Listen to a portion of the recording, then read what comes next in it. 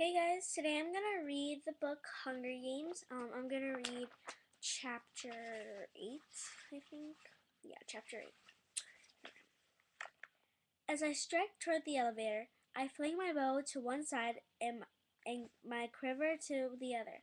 I brush past the gasping advoxes who guard the elevator and hit the number 12 button with, with my fist. The doors slide together and I zip upward. I actually make it back to my floor before the tears start running down my cheeks. I can hear the others calling me from the sitting room. But I fly down the hall into my room, bolt the door, and fling myself onto bed. Then I really begin to sob. Now I've done it. Now I've ruined everything. If I stood even a ghost of chance, it vanished when I sent that arrow flying to the game makers.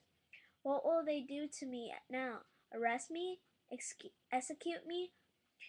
Cut my tongue and turn me into an ad, uh, ad box so I can I can wait on the future tributes of Panem?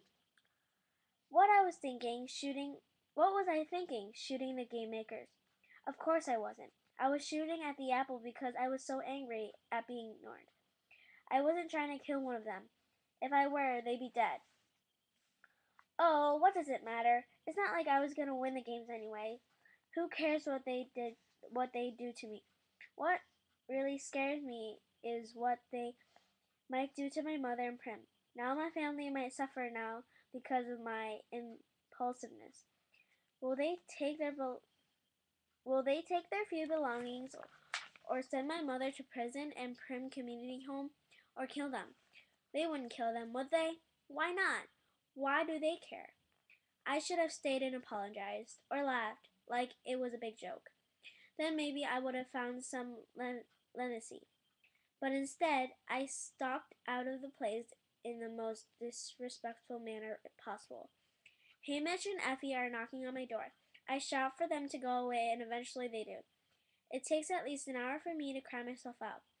Then I just lie, lie curled up in my in the bed stroking the silken sheath, watching the sun set over the artificial candy Capitol.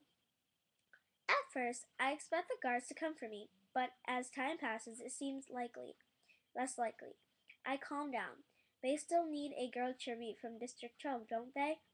If the game makers want to punish me, they can do it in publicity. Wait until I'm in the arena and six star six psychs starving wild animals on me. You can bet they'll make sure I don't have a bow and arrow to defend myself. Before that, before that though, they'll give me a score to low. No one in their right mind would sponsor me. That's what will happen tonight. Since the training isn't open to viewers, the game makers announce a score for each player. It gives the audience starting place for the betting that will continue throughout the games.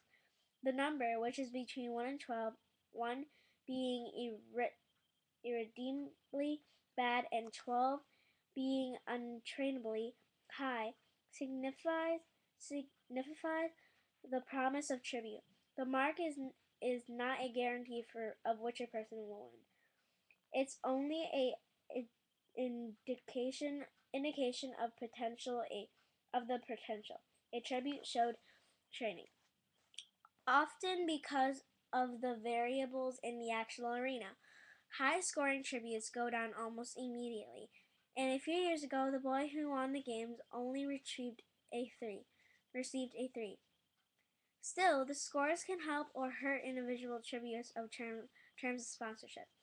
I have been hoping my shooting skills might get me a 6 or 7, even if I'm not particularly powerful. Now I'm sure I'll have the lowest score of the 24. If no one sponsors me, my odds of staying alive decreases most up to almost zero. Whenever he taps on the door to call me at dinner, I decide I may as well go. The scores will be televised, televised tonight. It's not like I can hide what happened forever. I could go to the bathroom and wash my face, but it's still red and splotchy. Everyone waiting at the table, even Cinna and Portia, Porcia, Portia, Portia, I wish the stylist hadn't shown up because because for the same reason. I don't like the idea of disappointing them. It's as if I thrown away all the good work they did on the opening ceremonies without a thought. I avoid looking at anyone as I take a tiny, tiny spoonfuls of fish soup. The saltiness reminds me of my tears. The adults begin some chit chat about the weather forecast. I let my eyes meet Peeta's. He raises his eyebrow. A question. What happened? I just give my mind a small shake. Then, as they serve, they're serving the main course, I hear Haymitch say, Okay, enough small talk. Just how bad were you today? Peeta jumps in. I don't know. I don't know that it mattered. By the time I showed up, no one even bothered to look at me. They were singing some kind of drinking song, I think. So I threw around some heavy objects until they told me I could go.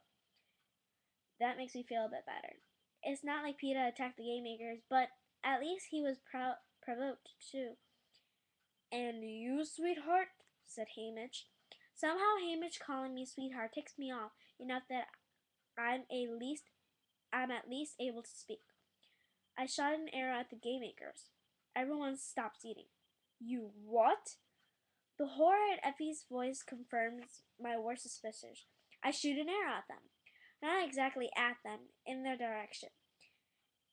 It's like Peeta said. I was shooting and they were ignoring me, and I just I just lost my head, so I shot an apple off of their stupid roast pig's mouth. I say de- de- defiantly. And what did they say? Said, and what did they say? Says Cinna carefully. Nothing. Or I don't know. I walked out after that. I say, with without being dismissed. Asked, gasped Effie. I dismissed myself. I said. I remember how I promised Prim that I really would try to win, and I feel like a ton of coal has dropped on me. Well, that's that, says Haymitch. Then he butters a roll. Do you think they'll arrest me? I asked. Doubt it. Be a pain to replace you at this stage, said Haymitch. What of my family? I say. Will they be? Will they punish them? I don't think so. Wouldn't make much sense. See, they'd have to reveal what happened in the training center for for it to have a worthwhile effect to the, on the population. People would need to know what you did. But since they since it's a secret, so it'd be a waste of effort, said Haymitch. More likely, they'll ha- make your life hell in the arena. Well, they've already promised me to do that to any anyway, said Peeta. Very true, said Haymitch. And I realize impossible that the impossible has happened. They have actually cheered me up. Haymitch picks up a pork chop with his fingers, which makes Effie frown, and drunks in his wine. He rips off a hunk of meat and starts to chuckle.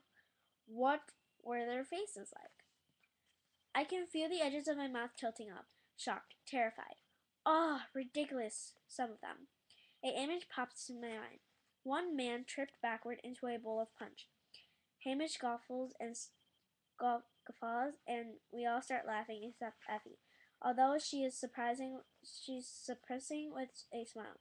Well, it serves them right. It's their job to pay attention to you, and you. And just because you come from District 12 is not an, is no excuse to ignore you. Then their eyes start around as if someone said something totally outrageous. I'm sorry, but that's what I think, she says in no one particular. To no one particular. I'll get a very bad score, I say. Scores only matter if they're very good. No one pays attention to bad or mediocre ones.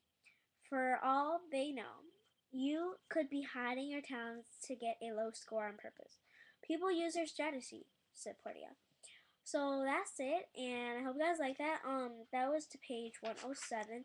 There's still a couple more pages, and um, if you wanna know the couple more pages, then just um, go to my channel and you'll find it. So thanks for watching. Love you. Hope you guys like it.